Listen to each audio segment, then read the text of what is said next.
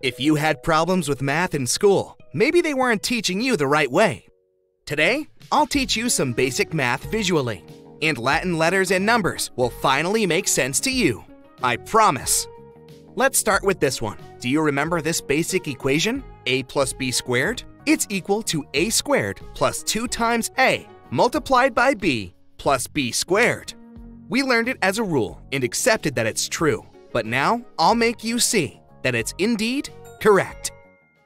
Let's have a square with a side a plus b. That's the left part of the formula, right? One side is a plus b, and the other side is a plus b. So, the space of the square is a plus b squared. Now let's break the square into four pieces like this. There's a square with a side of a in the space of a squared, and another one with a side of b in the space of b squared. In addition, two rectangles are formed with a side a and a side b.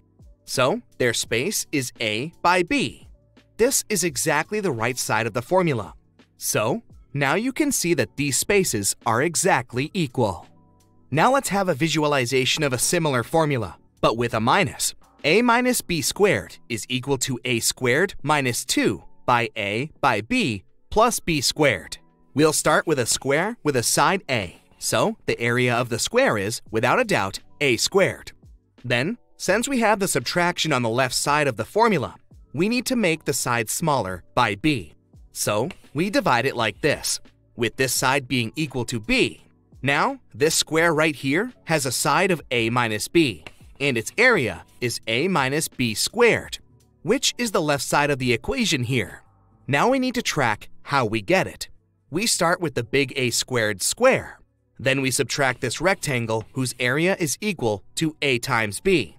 We still don't have the square we need, so we need to subtract the area of the other A times B rectangle here. But it's now missing a piece. So, before we can do that, we need to add the B squared. Yes, and now we subtract another AB rectangle. So, as you see, now we got the area of A minus B square, just like the formula tells us. One of the most famous theorems of geometry is the theorem of Pythagoras, which states that for a right triangle, the square of one side plus the square of the other side is equal to the square of the hypotenuse. So, a squared plus b squared equals c squared. Now, let's prove that it's right for any right triangle. But of course, we're going to do it visually. So, here's our right triangle. Let's denote its sides as A, B, and C. Now, let's duplicate the triangle and make three more that are exactly like the original one. I'll arrange them this way. They're now forming two additional shapes, this one around and this one in the middle. You guessed it right, both of these are squares. But how do we know that? Let's start with the big one. First, it has four right angles, which makes it some kind of a rectangle. To be a square, all four sides must be equal. And, indeed, they are. Look, this is the side A of a triangle, and right next to it, there's another triangle with the side equal to B.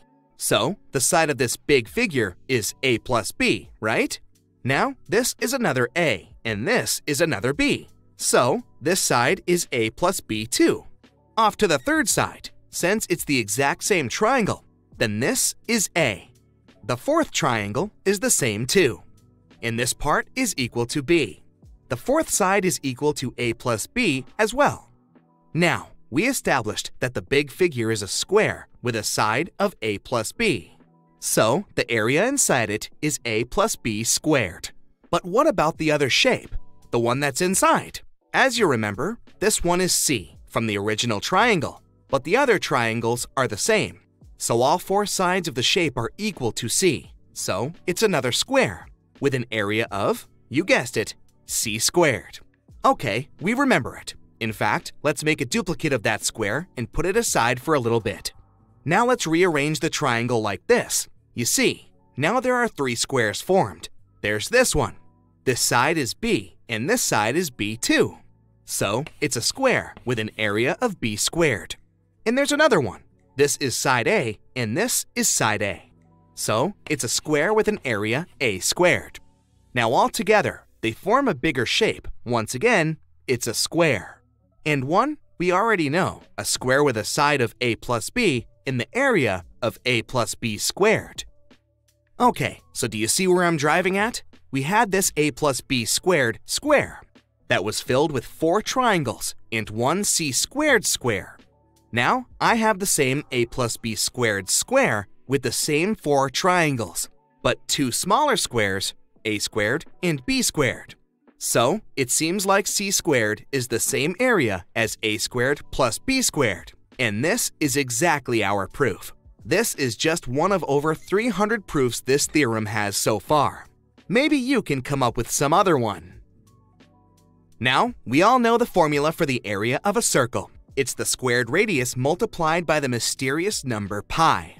Now, it's time to show you the visual proof of it. Let's draw a circle, and we want to figure out what its area is. We divide it into several equal parts, let's say into 8 parts, for starters. We can arrange these 8 parts into a rectangle-like shape. Still, this doesn't help us much to figure out the area. Let's divide it into 16 pieces then, and once again, rearrange them trying to form a rectangle.